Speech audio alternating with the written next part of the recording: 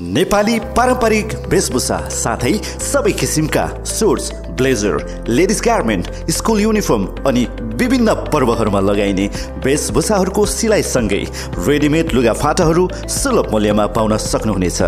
आजै सम्पर्क गर्नुहोस् Milan tailor and Milan Pradhan stores सम्बारे बजार phone number nine seven three five nine four three two double one nine six four double seven two one zero nine zero. अनि eight nine one eight five two double eight four two.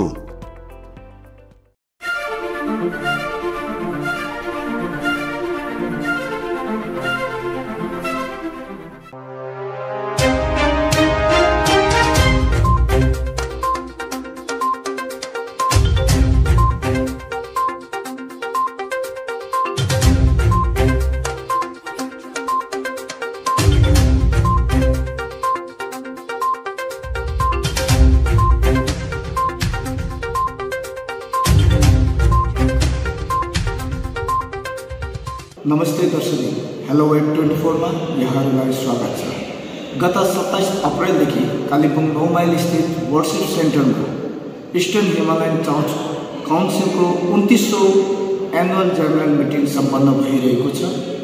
यसै एजिएमको दोस्रो दिन भव्य जमघटको माझमा इएससिसीको महासचिव अरुण कुमार राईलाई सम्मान जनाउने कार्य भयो।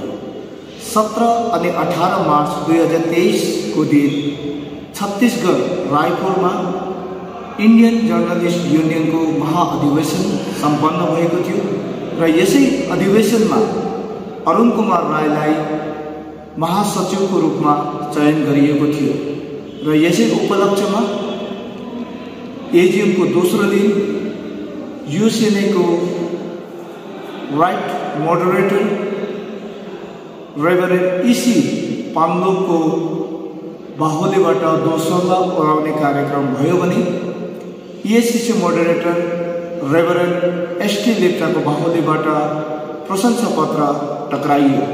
साथैमा यस प्रशंसा पत्रलाई पढ्ने कार्यक्रम एल्डर डाक्टर नोर्दन माइकल लेप्चाले गरेका थिए र यो इएससिसीको एनुअल जेनरल मिटिङ भोलिसम्म रहनेछ र यसमा सम्पूर्ण इएससिसी भित्रबाट धेरैजनाको उपस्थिति रहेको र यसै उपस्थिति माझमा अरुण कुमार राईलाई यो सम्मान जनाउने कार्यक्रम सम्पन्न भएको थियो। र दर्शकबिन यस गरी हाम्रो माझमा अतिथिको रूपमा हुनुहुन्छ इएससिसीबाट elder doctor Norden Michael Lepcha र यहाँलाई हामी हेलो वेब ट्वेन्टी फोरमा स्वागत जनाउँदछौँ। धन्यवाद। आज इएससिसी इस्टर्न हिमालयन चर्च काउन्सिलको उन्तिसौँ एनुअल जेनरल मिटिङको दोस्रो दिन यहाँहरूले एउटा भव्य कार्यक्रमको माझमा अरुण कुमार राईलाई सम्मान जनाउनु भएको छ र यो सम्मान तपाईँहरूले अरुण कुमार राईलाई कुन कुरोको निम्ति कुन उपलब्धिको निम्ति जनाउनु भएको छ यो तपाईँहरूले अलिकति हामीलाई विस्तृत रूपमा जानकारी दिनुभयो भने सम्पूर्ण दर्शकवृन्दको निम्ति राम्रो हुनेछ। बितेको महिना सत्र अनि अठार मार्च दुई हजार तेइसमा तपाईँको छत्तिसगढको रायपुरमा चाहिँ इन्डियन जर्नलिस्ट युनियनको दसौँ आमसभा भएको थियो। अनि त्यो आमसभामा चाहिँ चुनाव पनि भएको थियो।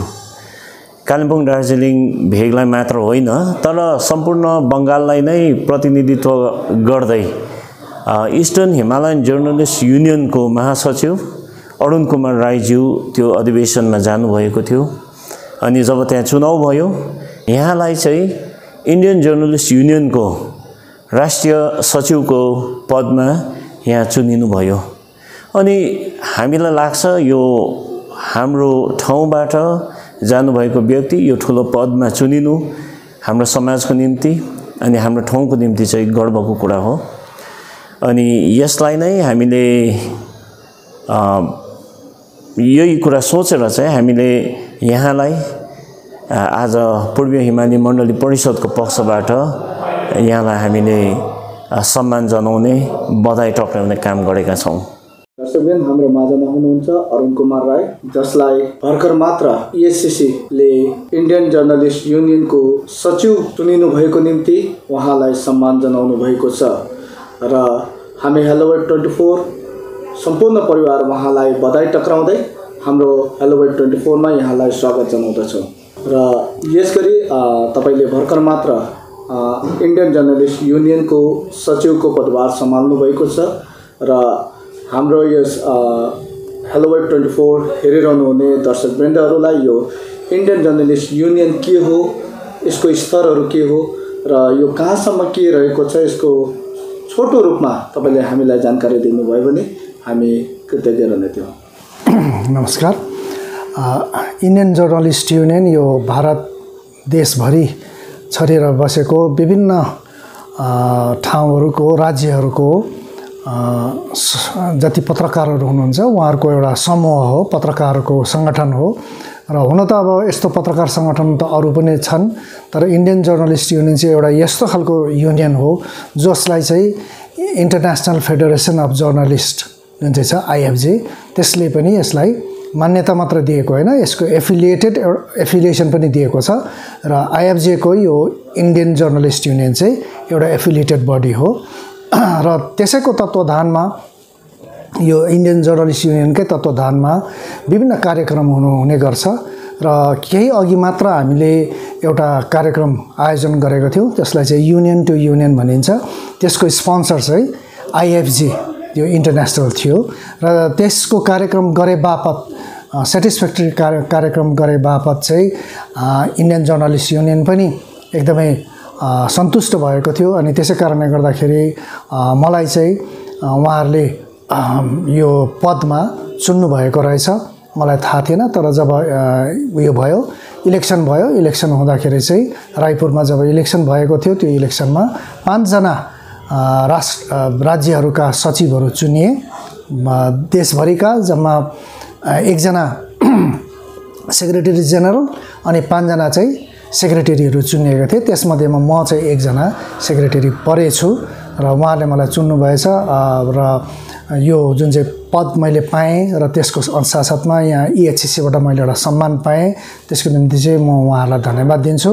तर सँगसँगै एउटा पत्रकारहरूको जुन चाहिँ सङ्गठन छ त्यसको निम्ति केही गर्नुपर्ने एउटा जिम्मा पनि मैले पाएको छु। र यो काम मैले हाम्रो यहाँ यो कालिम्पोङ दार्जिलिङ भेगमा जुन चाहिँ सङ्गठन छ जसलाई चाहिँ इस्टर्न हिमालयन जर्नलिस्ट युनियन भनेर भनिन्छ त्यसको चाहिँ म सेक्रेटरी भएको कारणले गर्दा त्यसको एउटा सभा बसेर हामीले यो बारेमा के गर्ने हो अब पत्रकारहरूको हक र हितको निम्ति हाम्रो राज्यमा र हाम्रो जिटिए क्षेत्रमा के गर्न पर्ने हो भन्ने विषयमा हामीले चर्चा परिचर्चा गरिसकेका छौँ काम पनि सुरु गरेका छौँ केही दिनमा हामी त्यसको निष्कर्षमा पुग्नेछौँ। फुलुङ डिपार्टमेन्टल स्टोर जहाँ तपाईँले सबै प्रकारको दैनिक रूपमा चाहिने ग्रोसरी कस्मेटिक बेबी केयर साथै कोल्ड ड्रिङ्क्स आइसक्रिम अनि अन्य घरेलु सामानहरू रिजनेबल रेटमा पाउनुहुनेछ। सधैँ सम्झनुहोस् Ravi Rai Gorubatha Dharamshala near SBI contact number eight one zero one six eight six four zero four